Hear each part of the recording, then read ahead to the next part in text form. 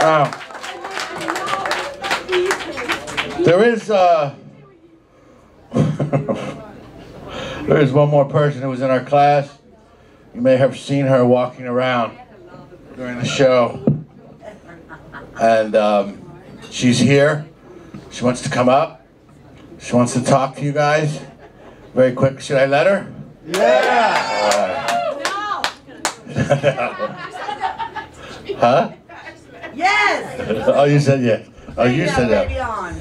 So, um, she also, I mean, she did take yoga during our class sometimes. So, she would be in our class, and then she would go across to do yoga in the middle of the stand-up class. So, I'm not sure what's going to happen, but let's hear what she has to say. Let's get her up here. Mary, come on.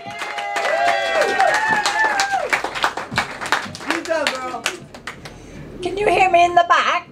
Oh, lovely, and thank you all for coming. It's just such a pleasure to be here. And Michael, I just need to get one bloody thing straight. In class, he actually said that I became a therapist to figure myself out. Do you recall that? You did.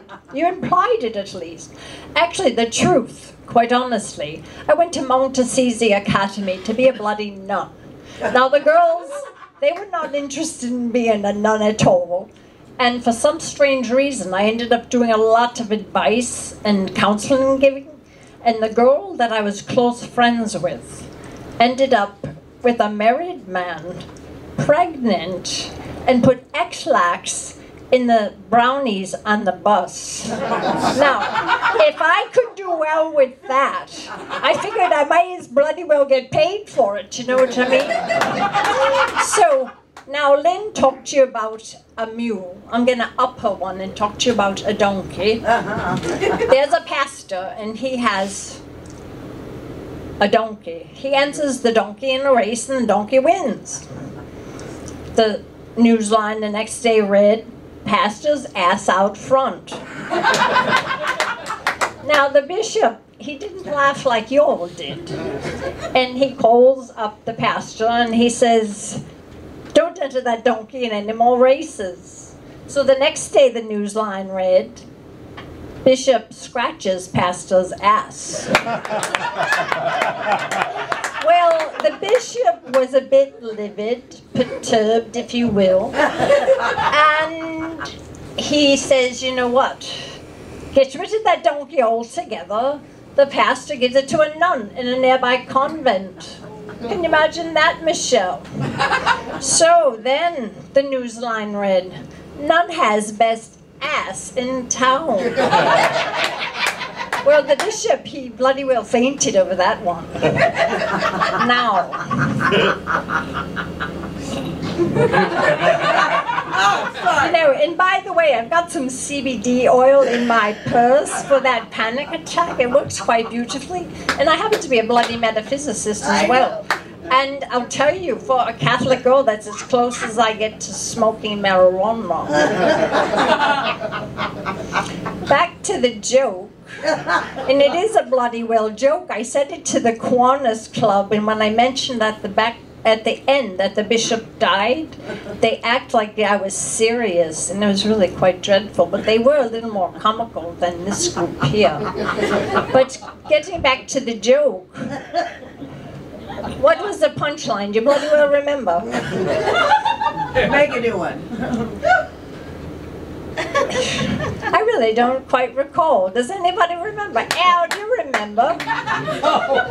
All I remember is that the the bishop tells the nun to take the donkey to a nearby nearby village and sell it. Even for ten dollars to get rid of it. So then it says nun sells ass for ten dollars. There you go.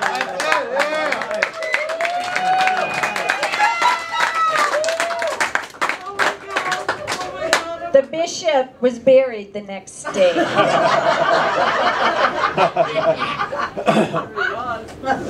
now, Larry, we talked about the hats, Yeah. and you wondered if I was serious.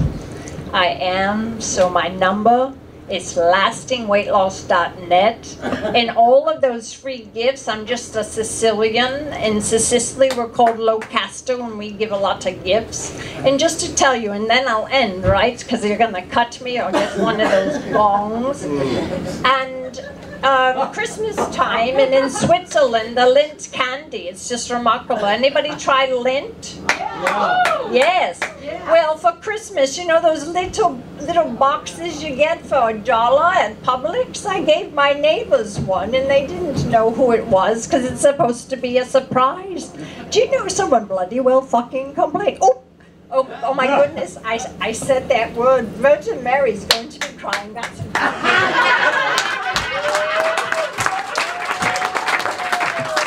Okay. Brilliant. Who's the bravest guy in the room? This guy. Oh, all right. You are. I'm just glad to see that one of her personalities is funny. And